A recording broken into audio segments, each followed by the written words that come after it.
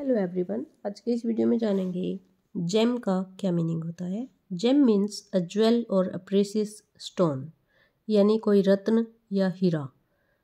जो कीमती रत्न होते हैं, उनको हम जेम कहते हैं जी ई एम जेम या जेम को हम यूज़ करते हैं फॉर ए पर्सन और thing that is specially good यानी कि कोई उत्कृष्ट व्यक्ति या वस्तु, उसको भी हम जेम कह सकते हैं, यानी कीमती।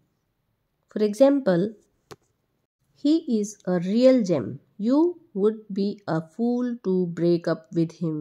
यानी कि वह सच में एक रत्न है और तुम मूर्ख हो गए अगर तुमने उससे रिश्ता तोड़ा आज के इस वीडियो में बस इतना ही थैंक यू फॉर वॉचिंग